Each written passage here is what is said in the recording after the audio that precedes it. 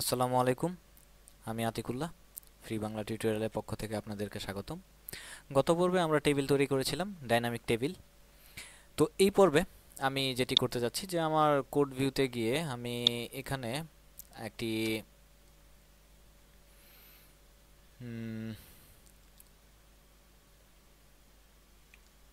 Paragraph tag add add করলাম এবং প্যারাগ্রাফটা একটি কিবোর্ডের শর্টকাট কি হচ্ছে কন্ট্রোল শিফট পি দিলে আপনার প্যারাগ্রাফটা একটি অ্যাড হয়ে যাবে। তো যাই হোক, আমি এটির আন্ডারে total number of data equals to এটুক দিলাম।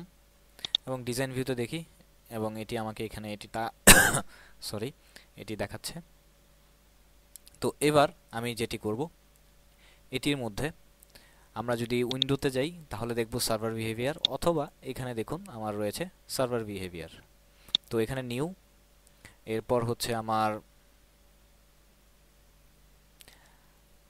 ডিসপ্লে রেকর্ড কাউন্ট, যে আমার display total record, news, okay, এবং এখানে আমার সেই রেজাল্টটি শো করছে। আমরা যদি কোড ভিউতে যাই, তাহলে দেখব ইকো টোটাল রোস নিউজ এবং আমরা এখানে উপরে যদি যাই, তাহলে এখানে দেখব এই যে এখানে তারা সে variable total page news total row news এইটি এবং এই ভেরিয়েবলটি এখানে ডিক্লেয়ার করেছে। এইটি নাকি? তো আমরা যদি এটিকে সেভ করি গুগল ক্রোম নিউজটি ওপেন করলাম এবং এখানে দেখুন আমার এখানে ডাটা রয়েছে তিনটি। সেই হিসেবে এখানে আমাকে শো করছে যে আমার তিনটি ডেটা রয়েছে টোটাল নাম্বার অফ ডেটা তো এবার আমরা আবার, আমরা প্রোডাক্ট যে পেজটি তৈরি করেছিলাম, সে প্রোডাক্ট পেজের টাইটেলগুলো যে তৈরি করেছিলাম, সেই প্রোডাক্ট পেজের টাইটেলের মধ্যে চলে যাচ্ছি। প্রোডাক্ট পেজের টাইটেলে আমি এখানে প্রোডাক্ট পেজটি আমরা আরেকবার একটু দেখে নিই, যে এটি আমার দেখতে কেমন ছিল। যে প্রোডাক্ট পেজটি আমার ছিল হচ্ছে যে এখানে আমার নয়টি ডাটা শো করা, করিয়েছিলাম। তো আমি এখন আমার সেই নয়টি ডাটার সার্ভার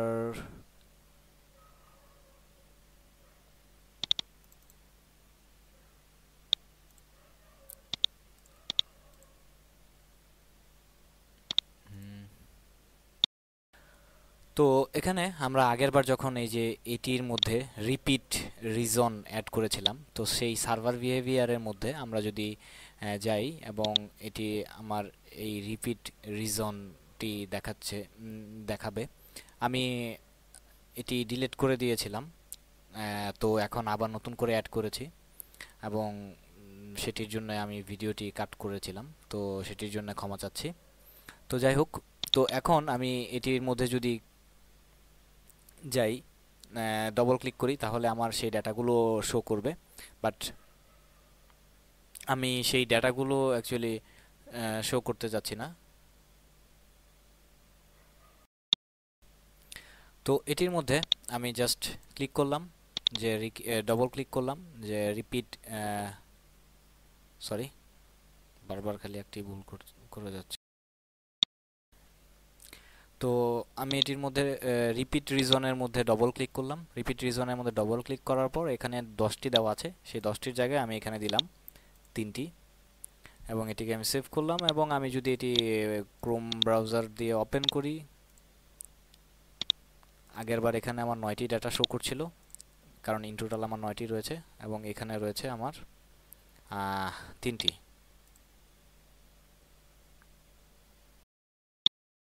তো এবার আমি যে কাজটি করতে যাচ্ছি, তো এটির মধ্যে আমরা লাইভ ভিউতে তো দেখলামই যে এটি আমার তিনটি ডেটা শো করছে। তো এটির পূর্বে আমি একটি কাজ করতে পারি কাজ করতে যাচ্ছি। সেটি হচ্ছে যে আমি এটিকে ডিভ টেকটি সিলেক্ট করে নিলাম। ডিভ টেকটি এটি।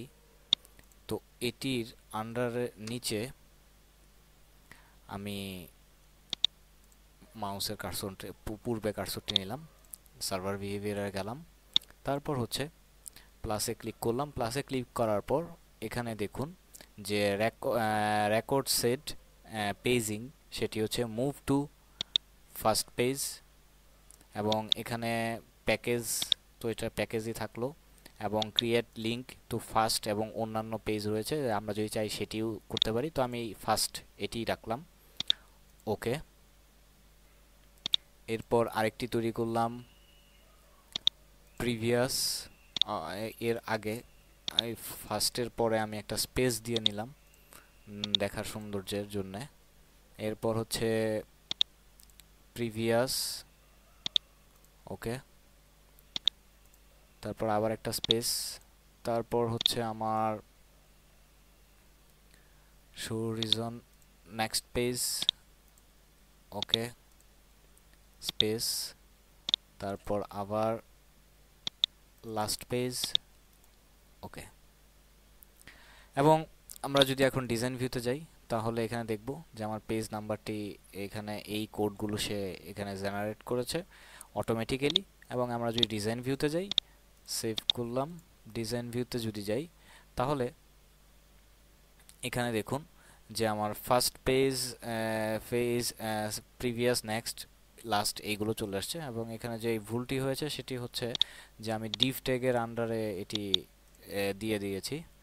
তো সেই ডিভ ট্যাগটির আন্ডারে আমি এটি পরে দেখাচ্ছি বাট যেহেতু করেই ফেলেছি, সেহেতু আমি যেটি দেখাতে চাচ্ছি, তো আমি এখন নেক্সট পেজ যদি দেই, তাহলে দেখুন, প্রথম পেজগুলোর মধ্যে আমার ছিল ব্যাক পেজ ক্যাল ক্যালিফোর্নিয়া ক্ল্যাম এই জিনিসগুলো। পরের পেজে আমার এটি চলে আসছে। এবং আবার যদি নেক্সট পেজে দেই, তাহলে আমার পরের ডাটাগুলো শো করছে। আবার প্রিভিয়াস মানে আগের পেজে চলে যাচ্ছে। আবার প্রিভিয়াস দিলে একদম প্রথম পেজে চলে আসছে। আবার এখানে লাস্টের মধ্যে ক্লিক করলে একদম লাস্ট পেজে চলে যাচ্ছে ফার্স্ট পেজে ক্লিক করলে আবার একদম ফার্স্ট পেজে চলে যাচ্ছে তো এরকমভাবে আমার ফার্স্ট পেজ সেকেন্ড পেজের এই কোডগুলো আমরা বসাতে পারি। বাট এখানে আমি যে কাজটি ভুল করেছিলাম, সেটি হচ্ছে যে আমি এই পুরো ট্যাগটি এই ডিভ ক্লাসের ক্লাসের ভেতরে অ্যাড করে ফেলার কারণে আমার প্রবলেম হচ্ছিল। তো এটিকে আমি যদি অ্যাড করি স্পেস শেভ এবার যদি আমি ব্রাউজারে ওপেন করি হ্যাঁ এবার আরেকটা প্রবলেম যে আমার ইয়া হয়ে গেছে। তো যাই হোক, এটি আমার, আমি আপনাদেরকে যেটি দেখাতে যাচ্ছিলাম, সেটি হচ্ছে এটি যে আমার নেক্সট প্রিভিয়াস এইগুলো কীভাবে শো করানো যায়, সেগুলো। এবং আমার এখানে ডিপ ট্যাগের আন্ডারে এটি শো করানোর ফলে আমার এই প্রবলেমটি এটি এখানে শো করছে।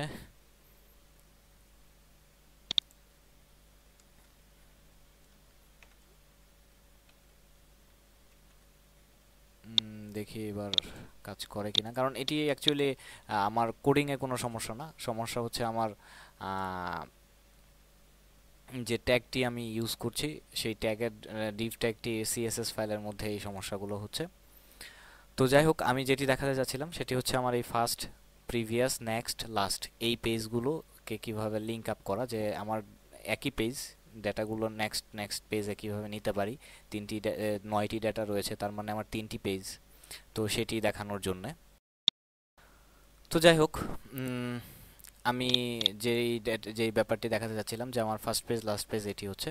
তো এখন যেই প্রবলেমটি হচ্ছে যে যেহেতু আমার ফার্স্ট পেজ সেই ফার্স্ট পেজেও আমাকে দেখাচ্ছে যে ফার্স্ট পেজ এবং প্রিভিয়াস আবার যখন আমার নেক্সট এবং লাস্ট পেজে যাচ্ছি, তখন আমাকেও দেখাচ্ছে যে নেক্সট এবং লাস্ট পেজ কারণ লাস্ট পেজে আমার নেক্সট বাটনটি থাকবে না, আবার ফার্স্ট পেজে থাকলে আমার প্রিভিয়াস বাটনটি থাকবে না। তো সেটির জন্য আমরা কি করতে পারি? সেটির জন্য আমি কোড ভিউতে গেলাম। আমি এই দুটো সিলেক্ট করলাম, যে প্রিভিয়াস এবং ফার্স্ট সার্ভার বিহেভিয়ারের মধ্যে গেলাম প্লাসের মধ্যে ক্লিক করলাম শোন রিজনের মধ্যে গেলাম। শোন রিজনের মধ্যে হচ্ছে if show if not first page click করলাম। প্যাকেজ এটি থাকবে ওকে আবার এটি সিলেক্ট করলাম। সার্ভার বিহেভিয়ারের মধ্যে গেলাম। শোন reason if not last page okay save করলাম। এবং ক্রোম ব্রাউজার দিয়ে যদি এটি আমি ওপেন করি। দেখুন যে আমার এখন আমি ফার্স্ট পেজে আসি সেই কারণে আমার ফার্স্ট পেজটি এখানে দেখাচ্ছে না, শুধু লাস্ট নেক্সট এবং লাস্ট এই দুটি দেখাচ্ছে। তো আমি নেক্সট পেজে যদি ক্লিক করি, যেমন এখন আমি মাঝামাঝি পেজে আসি তো সেই হিসেবে আমার ফার্স্ট প্রিভিয়াস নেক্সট লাস্ট সবগুলো দেখাচ্ছে। এখন আমি যদি আবার নেক্সটকে ক্লিক করি, তাহলে দেখুন, এখন শুধুমাত্র ফার্স্ট এবং প্রিভিয়াস এই পেজগুলো দেখাচ্ছে।